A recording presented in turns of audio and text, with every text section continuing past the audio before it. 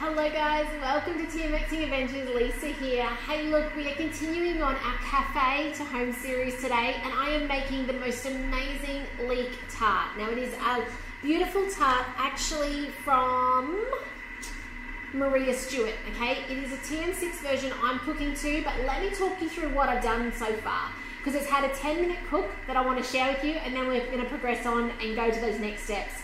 So it is on the downloadable. Head over to my website, TMXing Adventures, and subscribe, and you get this to your inbox. Uh, hi, Linda. Lovely to have you on today. I'm actually putting together a blog for tonight that actually has the September sauces in it, and then next week you'll get this one, and then I should be up to date with my blog posts, so then you can go find them when they come out each month. Now, this recipe is amazing. I've done it a very long time ago, not for you guys though, just in general. I had people coming over and I wanted to do it. First things first is a leek, or actually it's two leeks, sliced into rings, the white bit at the bottom, and then put in the Thermomix with 20 grams of oil. And we use our high heat on our TM6 to cook this off, okay? So this is the beautiful caramelized leek and feta tart. It's a TM6 recipe from Maria Stewart. But if you have a TM5 or 31, that's okay. I will tell you how to do it in those as well, okay? So don't worry. What I've done so far is I've caramelized that off. So the TM6 uses high heat for 10 minutes on this guided recipe. If you have a TM31 or a TM5, I want you to cook your leek with your oil. So it's 300 grams of leek, it's 20 grams of oil, and it's leeks in rings, okay? We always do leeks in one centimeter rings and you use the white. So it's about two leeks, maybe three if they're skinny, and you want to cook that. TM6 is for the 10 minutes. If you have a TM5 or a 31, you are using Varoma, you are using reverse, you are going to cook it for 12 minutes, speed one, okay? Because you need a bit longer to try and soften that leek up and make it really buttery and soft, okay? Then, the step I have just done, it asks for 20 grams of brown sugar. I just use raw sugar and it asks for 10 grams of white vinegar. Okay, I just use white vinegar. And then it cooked for three minutes, 100 degrees or Varoma. One of them, both will work.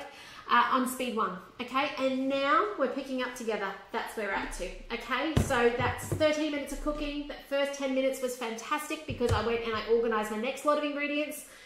And look at that. We have beautiful leek. You might notice I have a little bit of the green in there.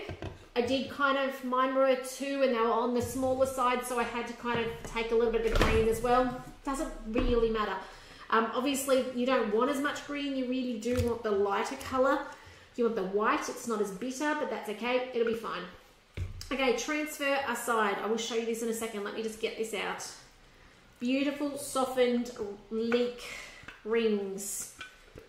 Okay, if you don't have leek and you still wanted to try this recipe, I would use a purple onion, okay? Leeks might be maybe too expensive uh, or maybe they're not available. A couple of, like 300 grams of purple onion sliced into rounds would be beautiful as well, I reckon, okay?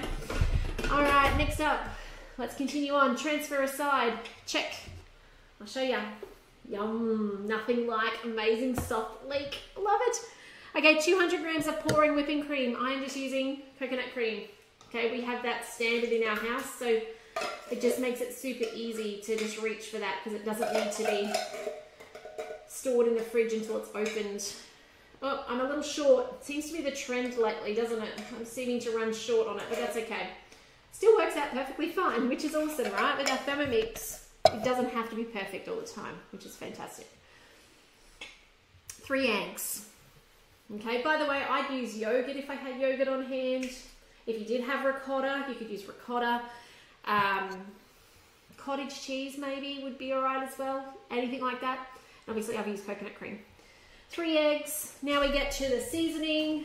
I'm standing a little funny today. There is a sheet of uh, something to do with building, I'm not sure what, under my feet. So I'm a little bit, if I look like I'm standing funny, it's because I am. It's one foot forward and one foot back.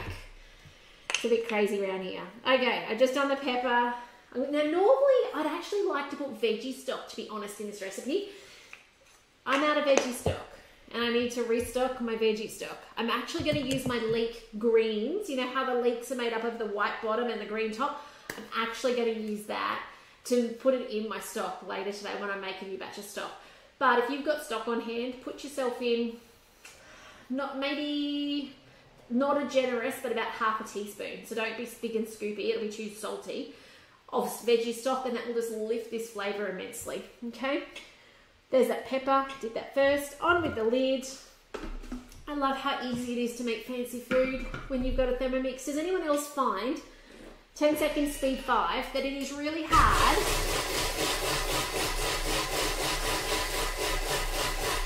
I was waiting for the Thermomix finish. anyone else find it's really hard to eat out when you've got a Thermomix and you just get disappointed when you pay for food that you're like, I could have done better?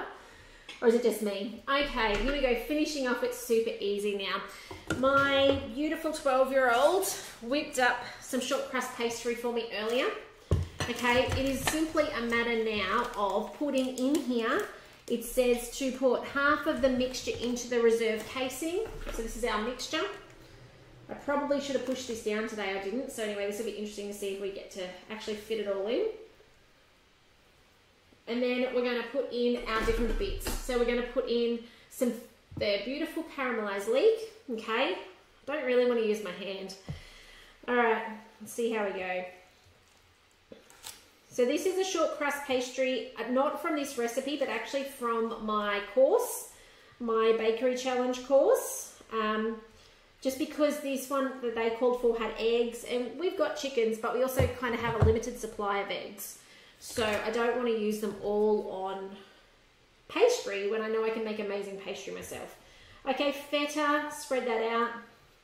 We're going to put more mix on top and finish up. So it's as simple as this to make a beautiful tart. I will take a photo of the final product I do try and share it on Facebook, time permitting, so you guys get to see it. I think I'm going to put more of the leek on top now. I actually don't know what the recipe says. I'm just kind of making it up. And there we go. And of course, we finish it off with some beautiful cherry tomatoes. It does say anchovies. I'm not an anchovy fan, so I will be skipping the anchovies. So on this goes. Look at that. And then finish it off. I don't know if you guys can see that well. Spin this around for you. Now it goes in the oven on 160 degrees for 35 minutes. I had to think about that for a second. So I'm just topping it with some yummy tomatoes and it goes in the oven. How simple is that? It is so incredibly simple to make amazing food in your kitchen and so much cheaper and you know exactly what's in it. Like I was able to make this less dairy than otherwise. Obviously I've still got butter in my pastry, but I was able to, and there's feta in it as well, but you know, you can work it in with what you want, how you like to eat, your choices of your food. Like it just gives you so much freedom. So with that in mind, if there's anything I can do to support you or someone you know with a Thermomix, please don't be a stranger, reach out. I love to hear from you keep an eye out tonight. You will get a blog from me, uh, and it's actually the recap of our speedy sauces, no, spring sauces from last month. But otherwise, I'll see you tomorrow for some more thermomixing. Take care, and if I can help you, you know where to find me. But we'll see you tomorrow. Bye for now, guys.